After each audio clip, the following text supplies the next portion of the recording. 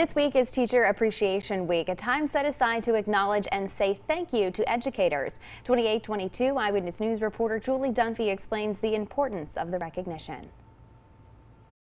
They are telling us that they need to earn a professional pay and living wage so they can take care of their own families and not have to work two and three jobs to do those jobs that they love. Today is Teacher Appreciation Day. It's been a trying time for educators during the pandemic. In order to thank teachers properly, Becky Pringle, president of the National Education Association, has been listening to educators across the country about what they need. This year for Teacher Appreciation Week, we can't just say thank you with a coffee mug.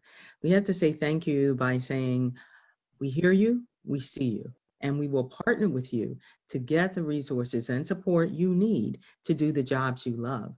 Ahead of Teacher Appreciation Week, Governor Tom Wolf spoke about the continued need to increase funding in schools across the Commonwealth, stating students and teachers in poorer school districts don't have the resources they need only because the Commonwealth of Pennsylvania has not lived up to its end of the bargain, which is to fund public education fairly and adequately. Funding is only one of many problems teachers face. The pandemic has also placed teachers under extra pressure from cases of school violence to teacher shortages. And they are telling us that they need help. They need more educators and community support to meet the growing needs that our students have.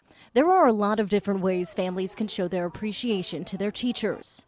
Pringle says this week, along with a thank you gift, reach out to your child's teacher and listen to what their needs are inside and outside of the classroom. Julie Dunphy, 2822 Eyewitness News.